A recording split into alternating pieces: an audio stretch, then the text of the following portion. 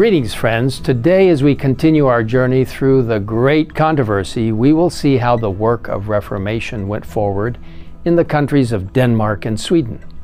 Students from Wittenberg, Germany helped spread the Reformed teachings as they returned home from the center of Lutheranism. One of these students who had a great influence upon the people of Denmark was Hans Tausen. Born the son of a peasant, it was clear early on that Hans was highly intelligent. Longing for an education but unable to afford such a luxury, Hans entered a cloister where he won favor with his superior.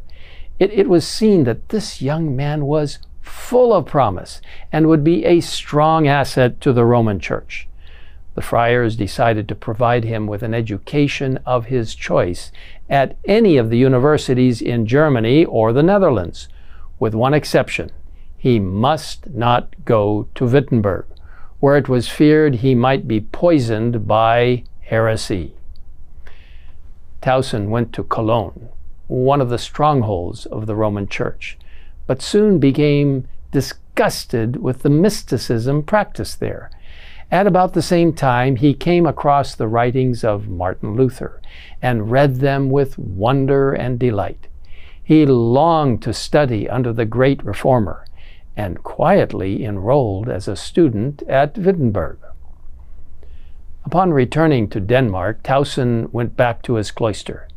No one yet suspected he had become a convert to Lutheranism, and so he began quietly sharing what he had learned from the Bible.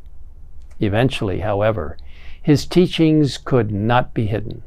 When the prior learned what Tausen was doing, he was filled with rage and immediately sent him to another monastery where Tausen was imprisoned in a cell. But strong bars could not keep Tausen from sharing his faith. Even here, he communicated to his companions a knowledge of Bible truth. Thinking to get rid of this troublemaker, the superiors expelled him from the monastery. But that only freed the reformer to spread the truth further. A royal edict had just been issued protecting followers of the Reformed doctrines. And Tausen, along with others, began preaching Bible truth in churches across the country.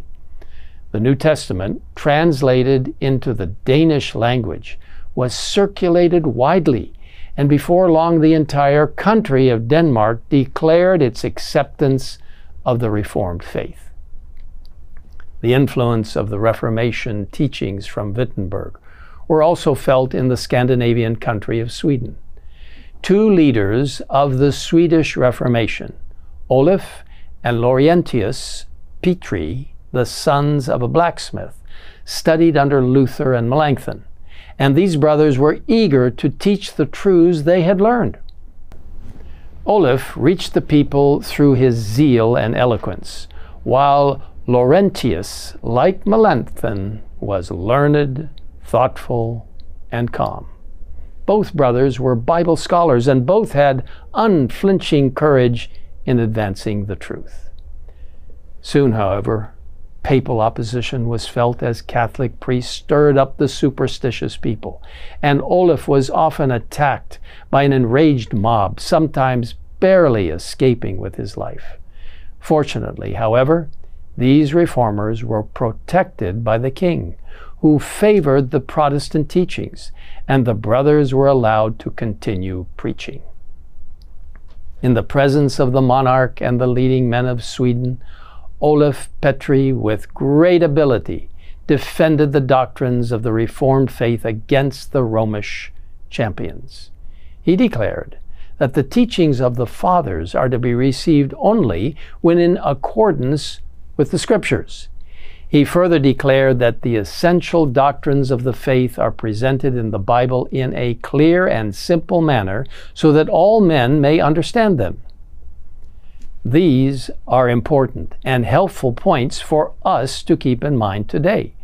First, that all religious teachings must agree with Scripture. And secondly, that the teachings of the Bible are presented through Scripture in a clear and simple way so that everyone can understand them. It's interesting that some people argue only scholars can truly understand the meaning of Scripture. But through the history of the Reformation, especially as people received the Word of God in their native languages, the Bible became clear to them. Scholar and peasant alike were able to understand Scripture. As a result of Olaf's presentation to the royal court, the King of Sweden fully accepted the Protestant faith, and not long afterward, the National Assembly declared in its favor. The New Testament had already been translated into the Swedish language by Olaf Petri. And at the request of the king, both Olaf and his brother Laurentius translated the entire Bible.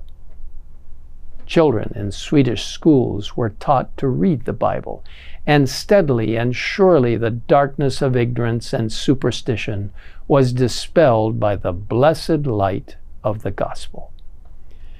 Friends, now as then, we can claim the promise of enlightenment given to us in God's Word.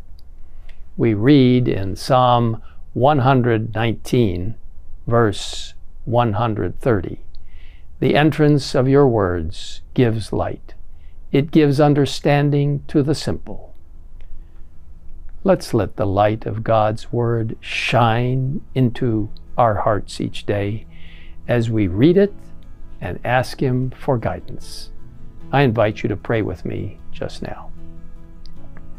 Father in heaven, thank you so much for the powerful Word of God, the clarifying Word of God, the enlightening Word of God. Your words from heaven itself coming to us to give us courage and hope, instruction and enlightenment. Now, Lord, we ask that you will help us, just as the reformers did, to share this word with others, giving people around the world and, yes, in our own neighborhood, encouragement for the future. For we know that Jesus is coming soon. And in these last days of Earth's history, you are asking us to proclaim these precious Bible messages to bring hope and encouragement to all those who are confused today. Thank you for hearing us in this prayer, and again, thank you for the Word of God. In Jesus' name we ask it. Amen.